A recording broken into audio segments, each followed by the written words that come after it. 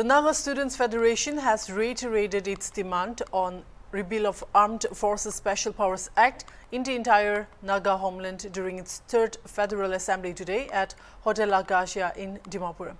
During the assembly, which was attended by its federating units, subordinate bodies and senior leaders, the Federation discussed on various agendas including Armed Forces Special Powers Act, Nagaland Staff Selection Board and regarding the traditional attire to be worn in schools and colleges at least once in a week.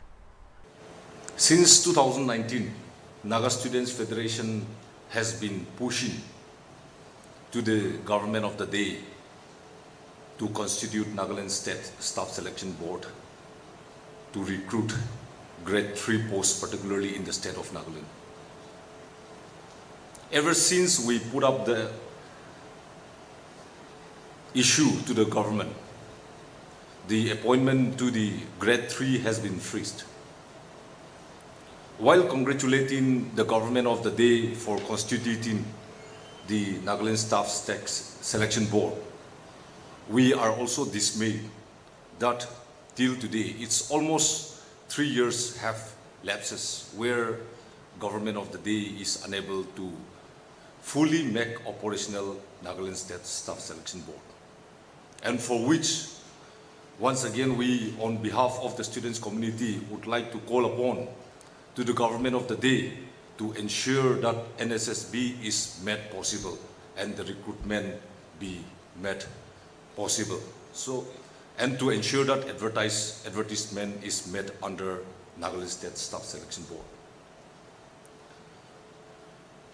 The reason why Naga Students Federation really liked NSSB to make operational is to ensure that meritocracy, fairness in any manner in the process of examination should be there in the process of recruitment. Today, we had a resolution where we appeal to the government of the day to ensure that NSSB is made operational so that recruitment takes place as early as possible. Considering the unemployment opportunities, employment opportunities in the state of, particularly in the state of Nagaland, many youths are frustrated because recruitment is not through proper channel. And the purpose of NSSB, introduction of NSSB, is to ensure that backdoor appointment is to do away, to do away with backdoor appointment, and examination is conducted through fair means. Just day before yesterday, we met NSSB secretary, and he has assured Naga Students Federation that advertisement will come out within this month time. But what we want to appeal to the government of the day is that that should not be only verbal, but we want to ensure that NSSB is materialized. We also would like to warn the government that if this is not constituted and made operational at the earliest, students' communities will resort to any protest, democratic protest, very soon. The other area of concern which Naga Students Federation today resolved is to protect the cultural identity of the Nagas and its indigenous people inhabiting in the Naga homeland. We want to appeal to all the educational institutions under Naga homeland that in a week, a day should be spared for the students to wear any Naga traditional attire. This resolution is not imposed to all the institutions, but we want to appeal to all the educational institutions operating in Naga homeland to give a space, a day space in a week to ensure that students wear a traditional attire in their formal classes. This includes, this, it is inclusive of colleges, higher secondaries, and high schools. And we also suggest the educational institution, if compulsorily class 5 and above can wear the traditional attire, then we will really appreciate the students community, will really appreciate the educational institutions. Taking from President, uh, with regard to NSSB, the Students Federation sincerely appreciates the government of the day for having uh, given extended two years with, uh, with regard to age limit. This was a demand of the Federation.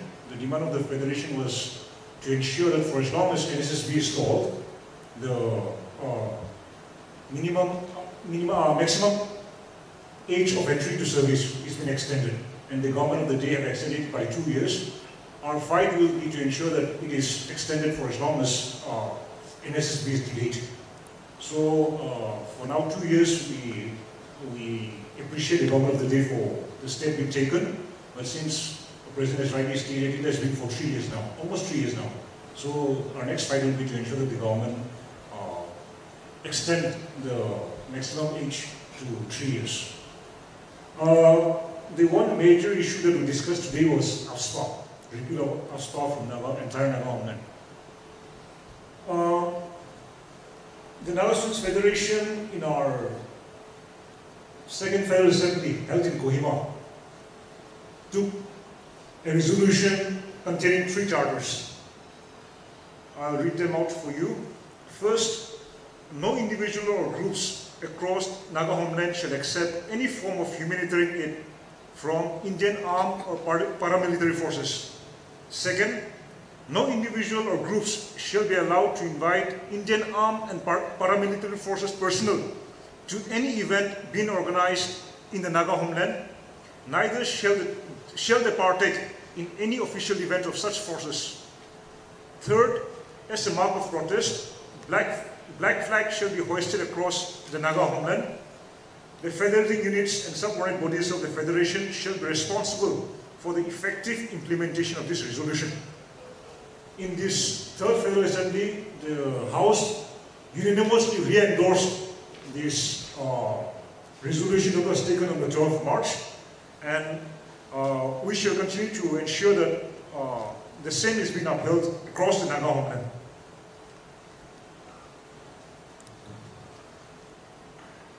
We, we also appeal to the government of India that justice be delivered to those, to those victim family who was massacred on 4th of December.